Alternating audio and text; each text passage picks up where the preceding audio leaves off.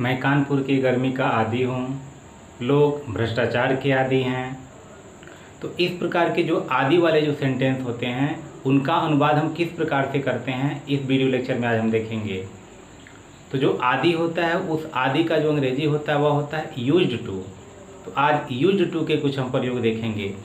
तो देखते हैं कुछ पहले एग्ज़ाम्पल जैसे दिया है कि मैं कानपुर की गर्मी का आदि हूँ। अब आदि होना का मतलब यह है कि उस ऐसे माहौल में रहते रहते हम मजबूरन उस माहौल के हम आदि हो गए हैं, उसको एक्सेप्ट करने के लिए हम मजबूर हो गए हैं तो उसके लिए हम यूज़ टू का प्रयोग करते हैं। तो इस प्रकार के जो भी सेंटेंस होंगे, हम उसको अगर अनुवाद के रूप में लिखते हैं तो होगा सबसे पहले सब्जेक्ट फिर इज़ एम आर फिर अगर सेंटेंस नेगेटिव में होगा तो नॉट लगा देंगे, फिर यूज़ टू फिर नाउन या जो भी अदर वर्ड होगा, हम उसको लिखेंगे।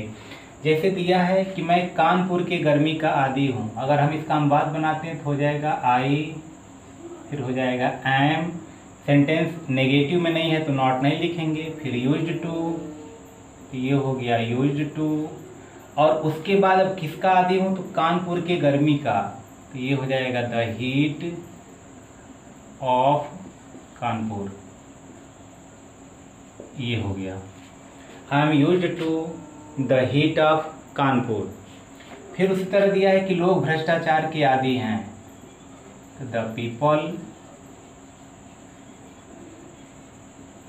प्लूरल नंबर में है, इसलिए आर उसके बाद आदि तो आदि का अंग्रेज़ी यहाँ हो जाएगा यूज़ टू अब किसके आदि हैं? तो भ्रष्टाचार के। तो भ्रष्टाचार की अंग्रेज़ी जो होती है, वह लिख देंगे। हो जाएगा करप्शन फिर उसी प्रकार अगला सेंटेंस है कि मैं तुम्हारे झल्लाहट, यानी नखरों का आदि हूँ।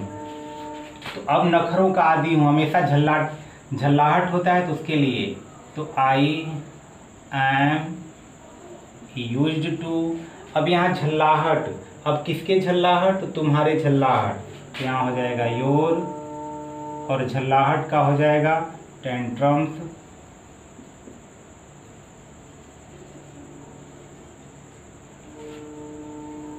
प्लूरल नंबर में कर देंगे कि I am used to your tantrums अब अगला दे रहा है कि हम सब इस मौसम के आदि नहीं है। नेगेटिव सेंटेंस में दे रहा है तो नॉट जुड़ जाएगा। सहायक क्रिया के तुरंत पश्चात कि हम सब इस मौसम के आदि नहीं हैं। तो ये हो गया वी आर नॉट और यहाँ हो जाएगा यूज़ टू अब इस मौसम का तो ये हो जाएगा दिस वेदर ये हो गया। फिर उसी प्रकार अगला सेंटेंस है कि मैं तुम्हारी बकवास का आदि नहीं हूँ। यह भी नेगेटिव सेंटेंस में। तो आई एम नॉट ये हो जाएगा यूज़ टू तुम्हारी बकवास योर नॉनसेंस